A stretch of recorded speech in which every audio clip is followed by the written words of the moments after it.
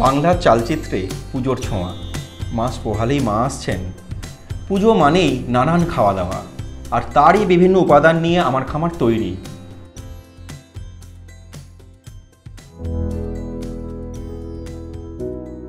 প্রধানত মহিলারাই আমার খামারের মাধ্যমে আপনাদের কাছে এইসব বিভিন্ন উপকরণ পৌঁছে দেন।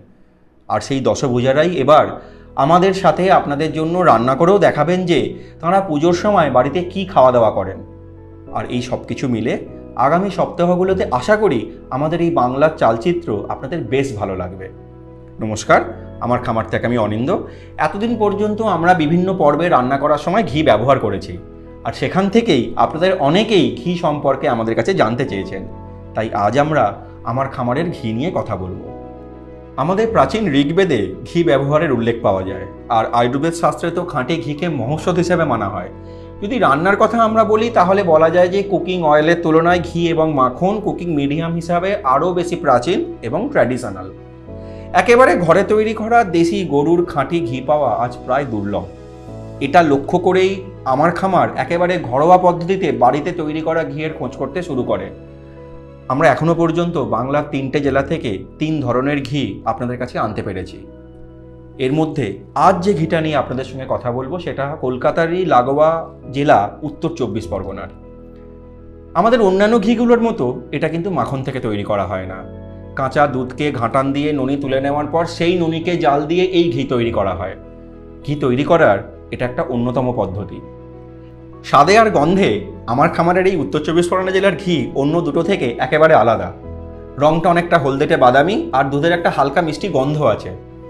আপনারা এই ঘিটা ফোড়নে ব্যবহার করতে পারেন। রান্না যখন হয়ে যাবে তার ডাল সবজি যে কোনো কিছুই হতে পারে। তাতে শুকনো লাল লঙ্কা রসুন অথবা শুধু পাঁচ ফোড়ন বা কাঁচা লঙ্কা কালো জিরে খানিক গরম ঘিয়ে ভেজে নিয়ে রান্নার শেষে ছড়িয়ে দেবেন। আজ আপনাদের জন্য ষষ্ঠীর দিনের খাওয়ার কথা বলবে প্রমিলাদি ষষ্ঠীর দিনে আমরা উপোস থাকি এবং পুজোতে অঞ্জলি দিয়ে ফিরে এসে আমরা নিরামিষ খাবার খাই। আমাদের গ্রামের প্রায় প্রত্যেকেরই বাড়িতে পরোটা বা লুচির সাথে আলুর তরকারি খাওয়া হয়। আর সেই কারণে আজ আমি আপনাদের জন্য এই উত্তর চব্বিশ পরগনার ঘি দিয়ে তিনকোনা পরোটা ভেজেছি। এর সাথে তরকারি হিসাবে নিয়েছি আলু পটল ফোড়ন। আপনারা এটাকে আলু মরিচও বলতে পারেন। শুধুমাত্র কয়েকটা শুকনো লঙ্কা আর গোলমরিচ দিয়ে রান্না করা। আমাদের বাড়ির এই আলুর তরকারিও এই ঘিয়ের স্বাদে অসাধারণ হয়ে উঠেছে। আপনারা পুজোয় রান্নার সময় এই ঘিটা যদি ব্যবহার করেন, তাহলে খুবই ভালো। উত্তর চব্বিশ পরগনার এই ঘি আমাদের কাছে এখন আছে।